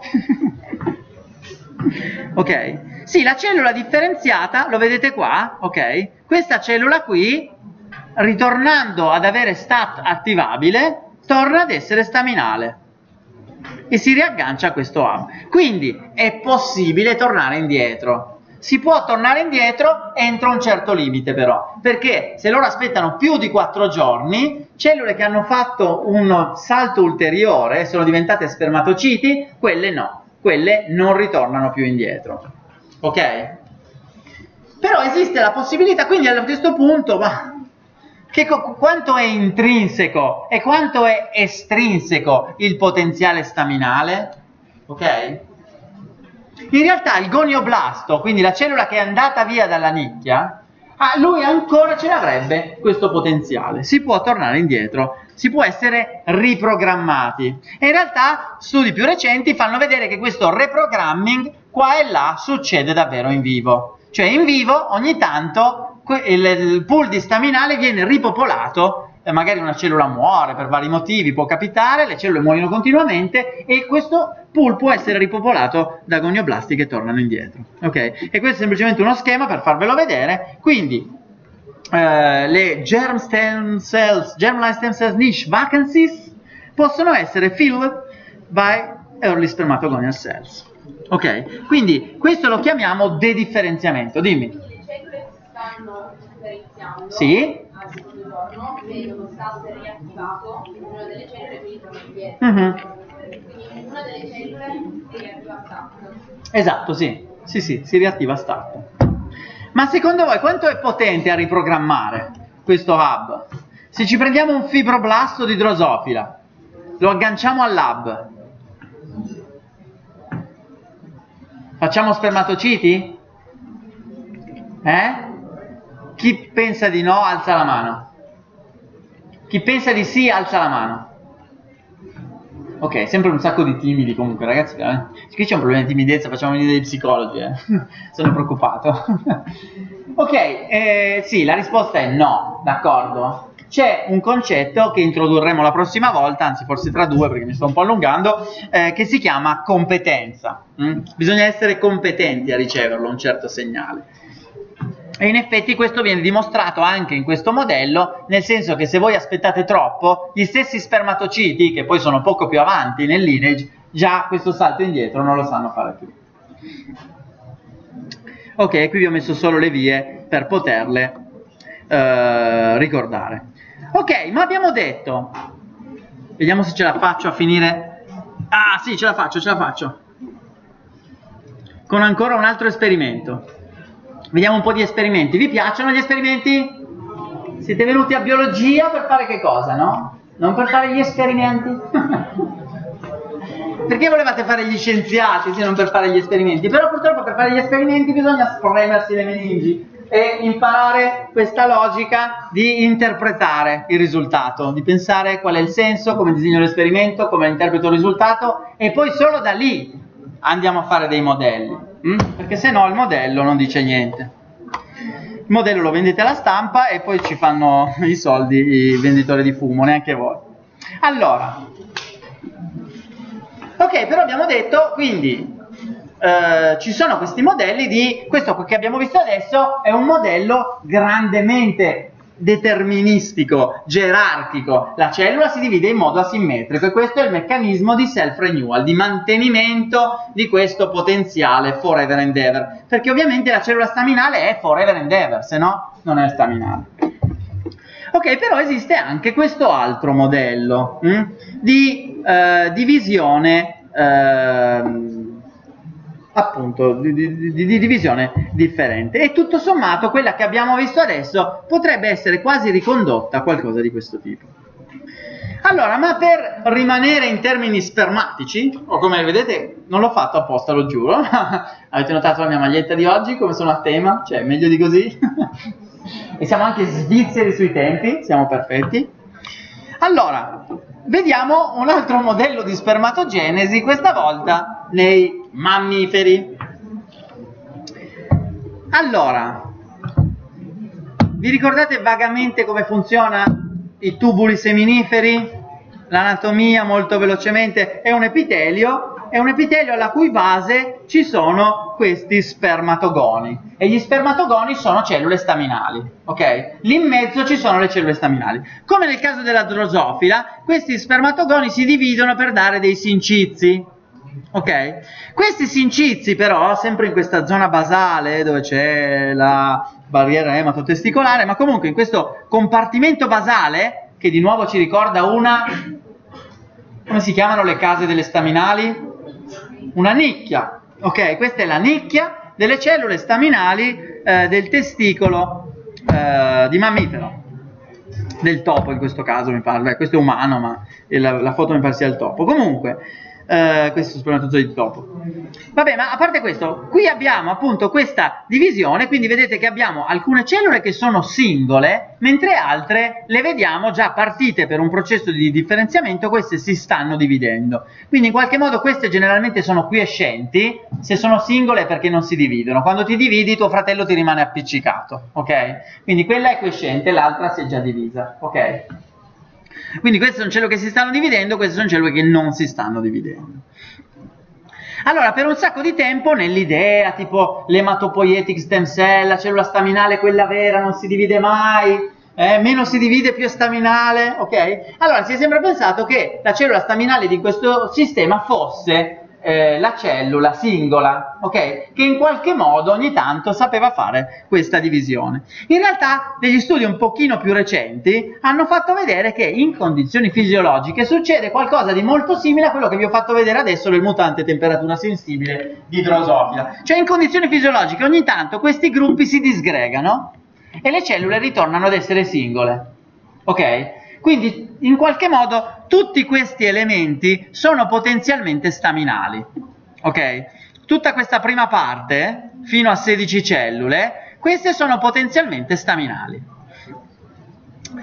Allora, un signore Ok, quindi sono stati fatti dei lineage tracing, ne sono stati fatti di mille, mille mille. E poi qui continua a dire quella secondo me è la staminale, quindi c'è un sistema gerarchico, c'è la peregina, la peregina si divide e dà origine a tutto il suo lineage.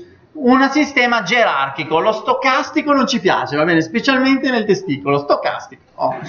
Allora, e invece il signor Simmons, che tra parentesi è un fisico, ha cercato di analizzare in modo un pochino più eh, matematico, quantitativo, degli studi di genetic lineage tracing. Quindi tornate un attimo all'inizio della lezione, la storia della CREI-RT2, ok? Lui cosa ha fatto? Ha preso il CREI-RT2 e l'ha messo sotto eh, le regioni regolative di neurogenina 3, NGN3, che è un gene espresso, diciamo, in questo eh, in questo gruppo fino a 16 cellule. Ok, queste sono le cellule staminali, qui vi fa vedere l'espressione di questi geni, eh, nanos, neurogenina 3. Queste cellule esprimono questi due geni. Neurogenina è un po' più verso il differenziamento, però insomma lui aveva a disposizione questo e usa questo. E che cosa fa? Lui di tamoxifen ne dà pochissimo, in modo che siano pochissime le cellule a poter, a poter ricombinare. Ok? Vi ricordate? Tolgo lo stop codon e da lì in avanti tutto il lineage lo marco, è marcato. Allora lui lo fa proprio con una micro goccia, glielo fa annusare da lontano della gabbietta, agita il flaconcino e in questo modo ricombina solo qualcosina qua e là.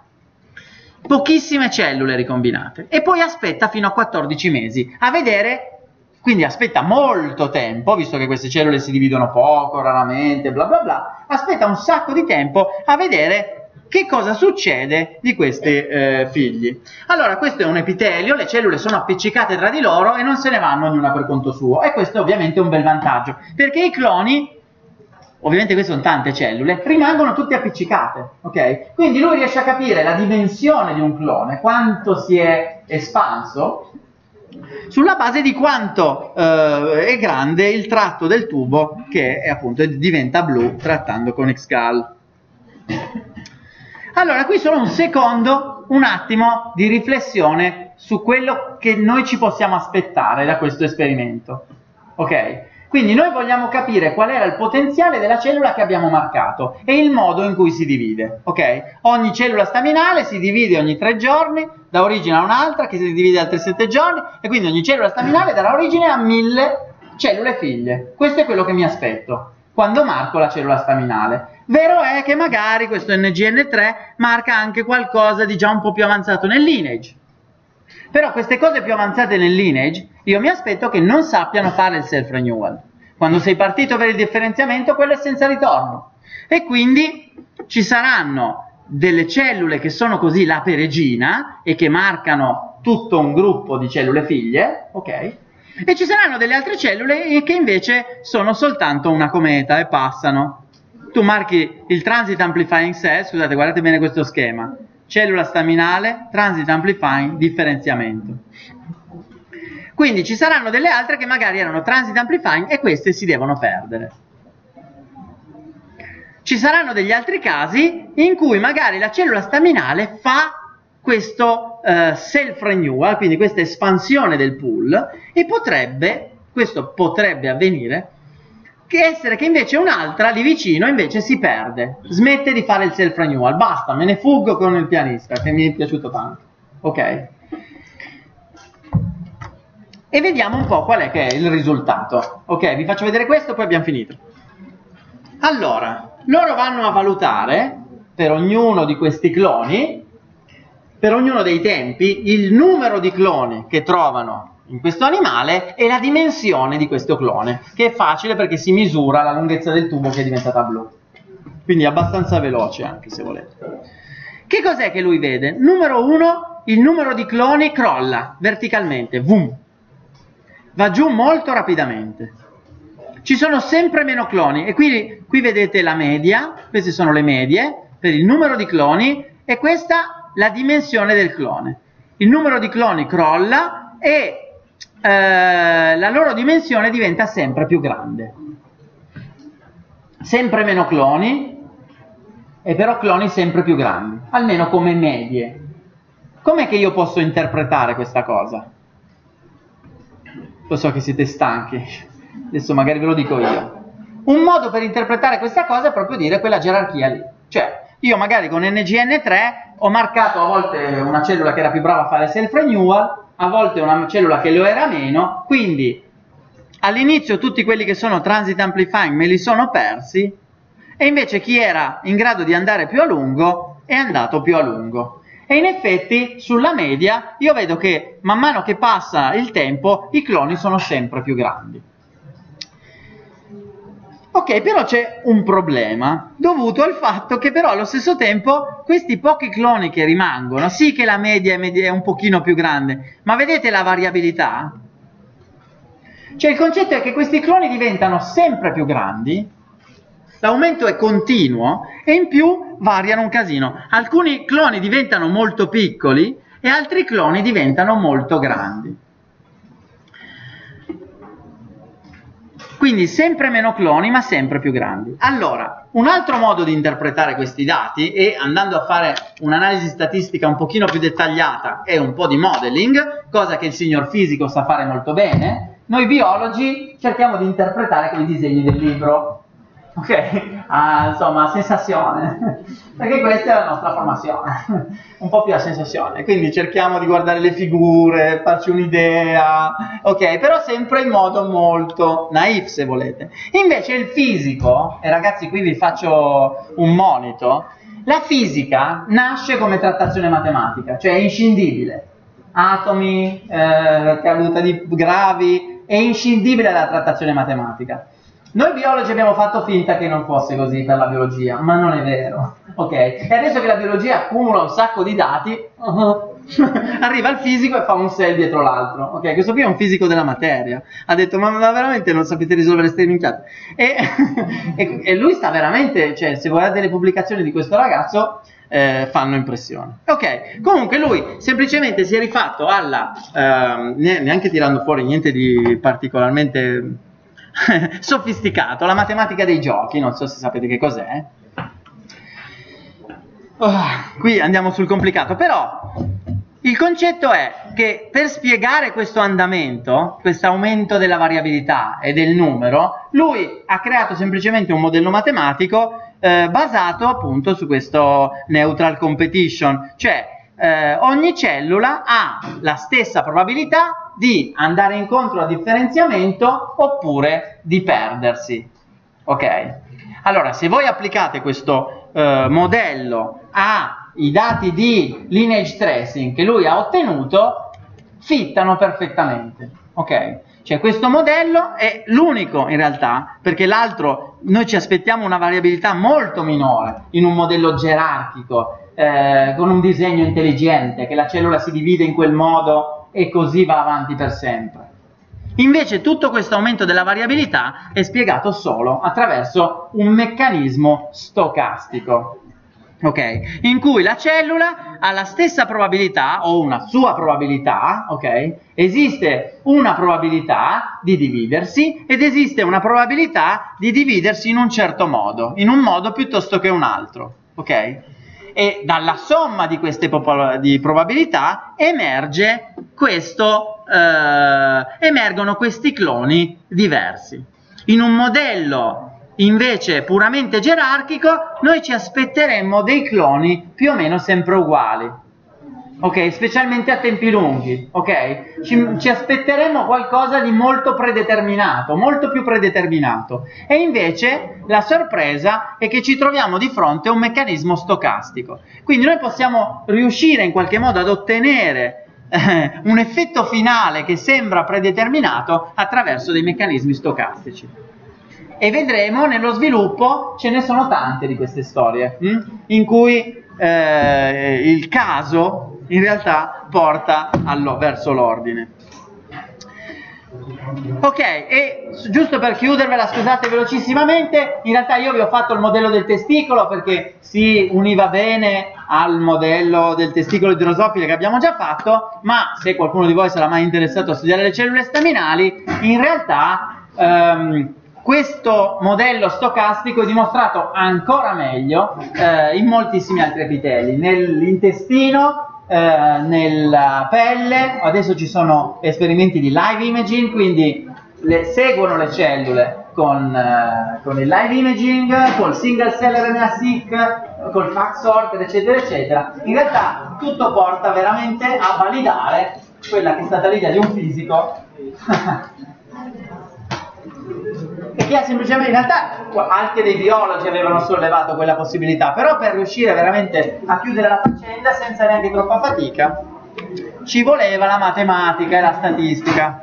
Quindi studiate la matematica e la statistica.